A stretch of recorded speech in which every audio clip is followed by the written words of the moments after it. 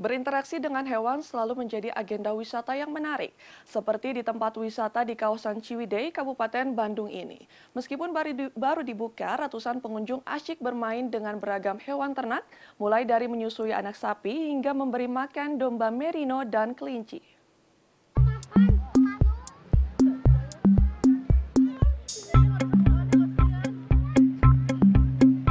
Tingkah laku hewan mamalia ini selalu menggemaskan. Wajahnya yang lucu dan bulunya yang lebat membuat kelinci selalu menjadi daya tarik bagi siapa pun pecinta hewan. Lagi makan kelinci. Terus? Seneng nggak? Seneng-seneng kelinci. Seneng kelinci. Terus diapain lagi selain dikasih makan? Main? Dia sapan. Oh.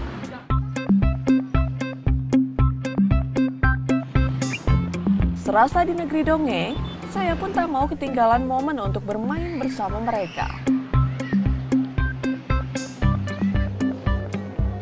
Wortel, makanan favoritnya tentu menjadi modal untuk mendekatinya.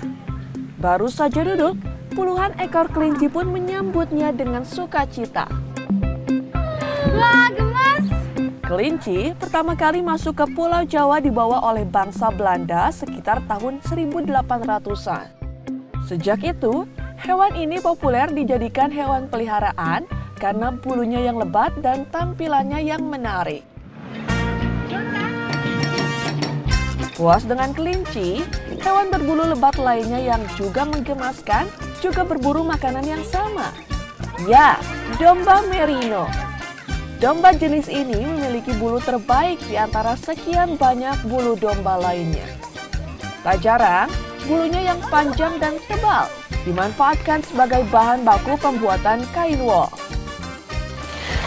Ya, wah, hewan ternak memang banyak sekali memiliki peran mulai dari sandang hingga pangan.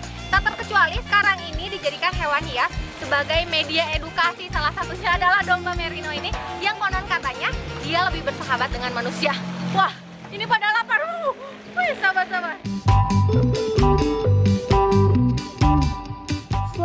Berinteraksi dengan kelinci dan domba. Kegiatan memberi minum susu kepada anak sapi pun diminati para pengunjung. Mengedepankan edukasi dalam interaksi dengan hewan ternak memang menjadi konsep utama sebuah tempat wisata di kawasan Ciwidey, Kabupaten Bandung ini. Eh, memang kita untuk menyediakan konsep wisata edukasi anak, terutama anak-anak itu bisa interaksi langsung dengan hewan, dan jangan takut karena e, kebersihan dan kesehatannya kita sudah e, terjaga dan terjamin.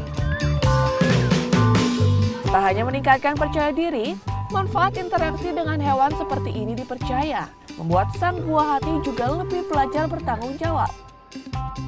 Dian Permatasari, Kabupaten Bandung.